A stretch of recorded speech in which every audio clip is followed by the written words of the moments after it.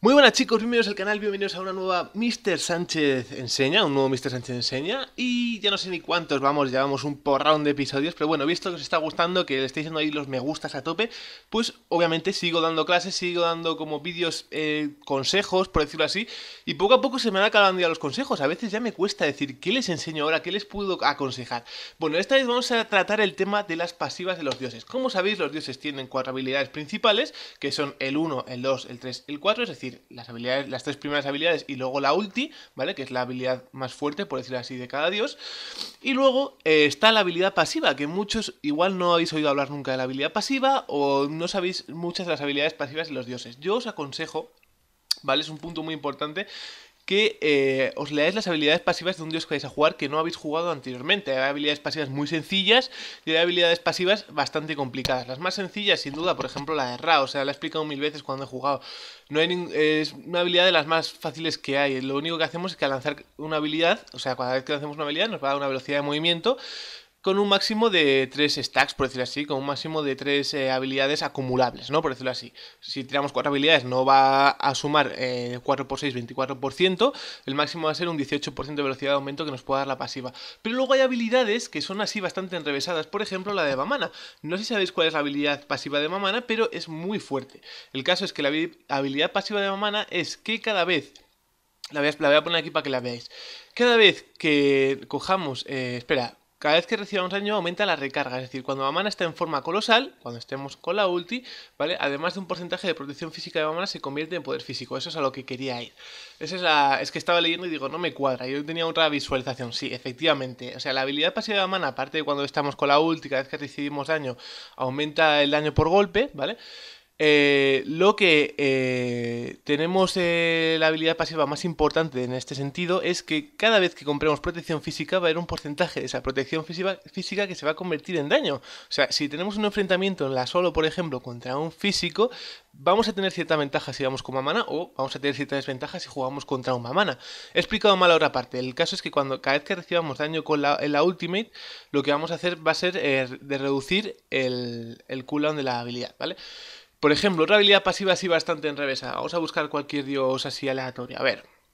Uno así que no sea muy usual. Por ejemplo, Nox. La habilidad pasiva de Nox es que las velas de Nox reúne energía de todas las habilidades que utiliza. Por cada habilidad que lanza Nox se enciende una vela. Y Nox obtiene un 3% de poder mágico por cada vela encendida. Cuando Nox recibe daño se apaga una vela. Está en, este caso no es tan difícil de entender, no es tan relevante pues, en este caso, pero cada vez que lancemos habilidades vamos a tener daño extra. Y cada vez que nos hagan daño pues se nos van a ir apagando velas. Está bastante bien también. Por ejemplo, la de Apuas, que también es bastante interesante. Lo que hace Apuas es que eh, está en sintonía con los muertos y puede exhumar cadáveres a su voluntad. Es decir, se los puede comer. Al caminar sobre un cadáver en descomposición, Apuas reduce el tiempo de recarga de la oleada de muertos y eh, se restaura el 5% de salud y el 3% del mana. Es decir, cada vez que nos comemos un muerto que tiramos con las habilidades, nos lo podemos comer y con cuando nos lo comemos reducimos el cooldown de la habilidad del 1, ¿vale? Y del 3, si no me equivoco, algo así, no sé. Eh, ah, no, del 2, vale. reducimos la habilidad de oleada de muertos vivientes, ¿es la ulti? No, a ver. Eh, what, what, what? A ver. Bueno, el caso es que reducimos el cooldown de las habilidades, que no, no, sé por qué la descripción está mal, y aparte nos curamos salud y mana, o sea, es increíble. En, en late con Apuas nos podemos curar toda la vida, aparte a, base de tirar zombies. Otra habilidad pasiva ya la vamos a dejar aquí porque puedo poner 300.000 ejemplos, pero el caso es que los descubráis vosotros, ¿no? A ver, otra habilidad pasiva, aún así un poquito enrevesada también, no sé, no sé, a ver... Eh... La de GEP, por ejemplo. La de GEP es muy importante, la, analicé este domingo, y es que eh, solo puedes recibir un 25 por año de daño proveniente de críticos. O sea, cuando contra una de carry con críticos, a Gabe casi no le hace daño. Por ejemplo, a Atena, otro.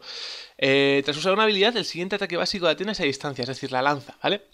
Y inflige un 25% de daño adicional de su poder mágico, o sea, muy importante. Y otro que me gusta a mí mucho es el de Tyr, que ya lo analicé en su guía, pero eh, lo que hace Tyr es que no puede ser eh, ni intoxicado, ni hipnotizado, ni provocado, ni aturdido más de un segundo. Es decir, todo el tema de stun, de taunt, de veneno, así, no le puede afectar a Tyr durante más de un segundo. Es que esto... Parece una tontería, pero muchas veces las habilidades pasivas nos dan a entender mejor un dios y nos enseñan a jugarlo nos, dicen cómo jugarlo de alguna forma mejor. Por ejemplo, el último que voy a poner ya, el de Artemis. El de Artemis es que no podemos dar más de eh, tres, básicos sin que nos tenga. O sea, sin que nos. no, perdón.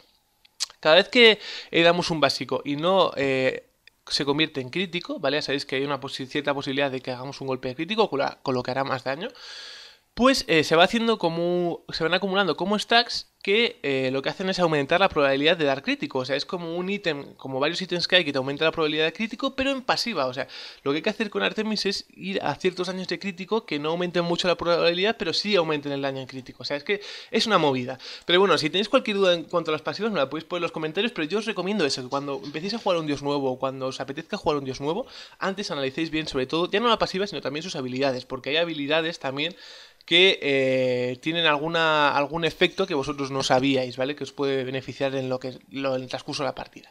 Así que chicos, vamos a dejar aquí el vídeo, espero que os haya servido de ayuda, tampoco ha sido un vídeo muy, muy didáctico, pero sí es un consejo que mucha gente no lo toma en cuenta y ayuda mucho a jugar mejor, sin duda.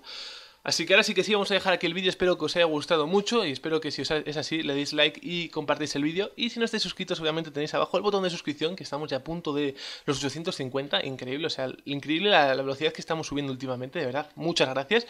Y os dejo en la cajita de descripción tanto el link de mi Twitter como el link de mi canal de Twitch, por si me queréis seguir a través de las redes sociales. Así que chicos, un saludo a todos y nos vemos mañana que hay parches en Smite, así que adiós.